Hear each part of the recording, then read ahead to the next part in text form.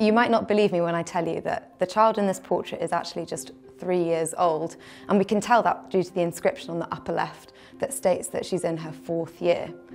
You'd be forgiven for mistaking her age, given the exaggerated maturity of this child.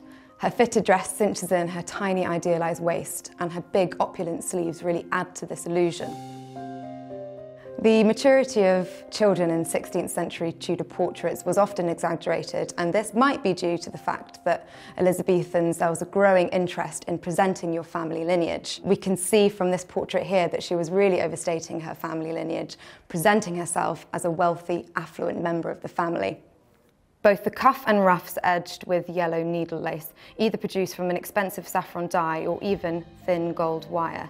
A heart-shaped hairstyle frames the sitter's face, the form strengthened by small plaits of hair and decorated with jewels echoed in the strong V shape at the front of her gown. The skirt is folded to emulate the farthingale shape, and long pins would have held this flounce in shape.